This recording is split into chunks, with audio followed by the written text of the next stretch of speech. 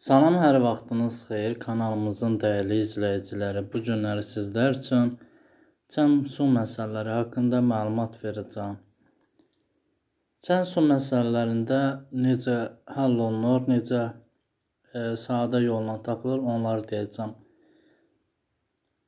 Keçək e, misallar üzərində izahlarımıza baxaq. Deməli, birinci sualda deyir ki, çən su ilə dolu olduqda 63 kiloqramdır. Çənin altda 5 hissəsi su ilə dolu olduqda isə 53 kiloqramdır. Boş çənin kütləsini tapın. Bu tipli misallarda ən çox sistem tənliyi ilə eləsək, daha da ə, e, rahat, sadə olur. Yazırıq birinci tərəfdə su üzərinə gəlsin çən bərabərdir 63 kiloqram. 6-da 5 su üzərinə gəlsin çən bərabərdir 53. Və burada sistem tənliyi tərəf-tərəfə çıxırıq. Qalır. Suyumuz e, 6-da 6-dır. 6-da 6-dan çıxanda 6-da 5-i qalır. 6-da 1 su. Tərəf-tərəf çıxanda çənlər gedir. 63-dən də 53 çıxanda qalır 10. 6-da 1 hissəsi su olanı olan ədəd tapırıq. Yəni suyumuz olur 6 vurulsun 10. Oldu 60. Və bu məsələnin tam həlli deyil. Keçək 60-ın üzərinə çən gəlirəm bərabər olur 63-ə. Çənimiz də 63-dən 60-ı çıxıram, qalır 3 kiloqram. Bu 3 kiloqram bizim boş çənin kütləsidir.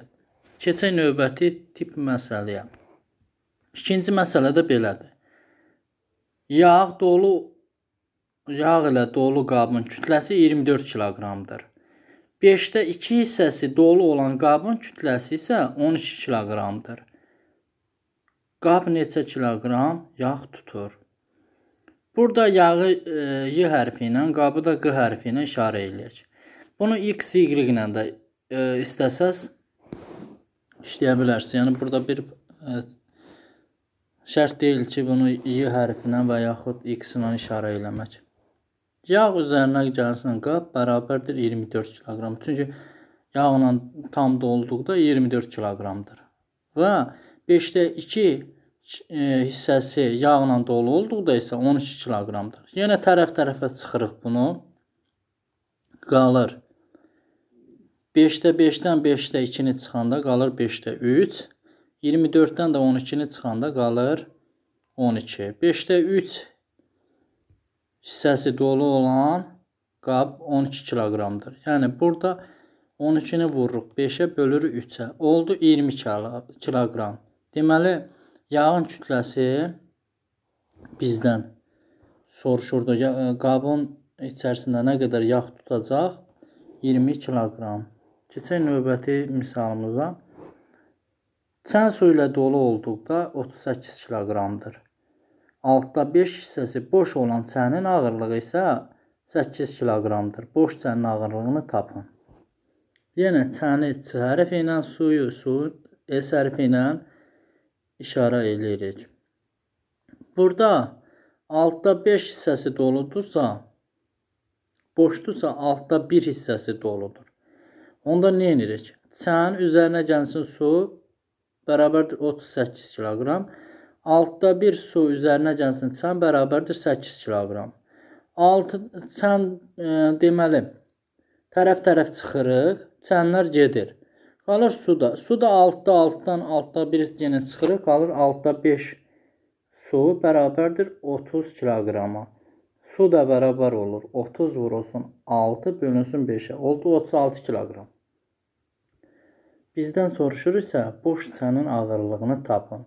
O zaman nə edirik? 36-nın üzərinə gəlirik. Çəni bərabər eləyirik 38-ə. Və çənimiz də 38-dən 36-nı çıxırıq, qalır 2 kiloqram. Boş çənin ağırlığı oldu 2 kiloqram. Sonra keçək növbəti tip misalına. Deməli, 8-də 5 hissəsi su ilə dolu olan çənin kütləsi 53 kiloqramdır. Çənin yarısına qədər su dolduqda isə 43 kiloqramdır. Boş çənin ağırlığını tapın. Suyu S ilə çəni də Ç hərfi ilə işarə elədim. Yarısını deyəndə həmişə 2-də 1 nəzərdə tutur. 8-də 5 su üzərinə gəlsin, çən bərabərdir 53. 2-də 1 su üzərinə gəlsin, çən bərabərdir 43. Tərəf tərəfə çıxsaq, 8-də 5-dən 2-də 1-i çıxsaq, bir də 53-dən 43-ü çıxırıq. Deməli, olur 8-də 1 su bərabərdir 10 kiloqrama. Su da bərabər olur 8-i vururuq 10-a. Olur 80 kiloqram. Deməli, tapdıq ə, suyun kiloqramlığını 8 kiloqram, 80 kiloqram. 80-in də bizdə deyir ki, 8-də 5 hissəsi su ilə dolu olan çənin kütləsi 53 kiloqramdır. Həm də bizdən boş çənin ağırlığını soruşur. 80-in 8-də 5 hissəsini tapıram. 80 bölünsün 8 vurulsun 5 olur 50 kiloqram. Aşağıda yazıram 50 üzərinə gəlsin. Çən bərabərdir 53. Çən də bərabər olur 53-dən 50 çıxıram. Qalır 3 kiloqram. Boş çənin ağırlığı. Sonuncu misal tipinə keçək. Çənin deyir 4də 1, 4də 3 hissəsi dolu olduqda kütləsi 43 kiloqramdır. 3də 2 hissəsi su ilə dolu olduqda isə 39 kiloqramdır. Çənin su ilə tam dolu olduqda neçə kiloqram olur? Həm burada çənin ağırlığını soruşur, həm də içərisindəki suyun ağırlığını soruşur. Çəni C hərfi ilə suyu da S hərfi ilə işarə eləsək, 4-də 3 su üzərinə çən bərabərdir 43. 3-də 2 su üzərinə gəlsin, çən bərabərdir 39. Tərəf tərəfə çıxsaq, 4-də 3-dən 3-də 2-ni çıxanda qalır 12-də 1 su bərabərdir 43-dən də 39 çıxanda 4. Suyumuz da bərabər olur 12 vurulsun 4-ə eləyir 48 kiloqram. Və 48 kiloqramı tapdıqdan sonra suyun kütləsini tapdım. 48-in də 4-də 3-ünü tapıram. Yəni 48 bölünsün 4 vurulsun 3 eləyir 36. Aşağıdan yazıram 36 üstə gəlsən bərabərdir 43.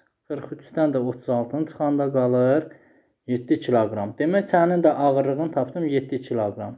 Suyun da ağırlığını tapmışdıq əvvəldən 48 kiloqram. Bizdən də həm sənin, həm də suyun birlikdə ağırlığını soruşurdu. 48 üzərinə gəlsin 7 bərabərdir 55 kiloqram. Deməli bizim cavabımız olacaq 55 kiloqram.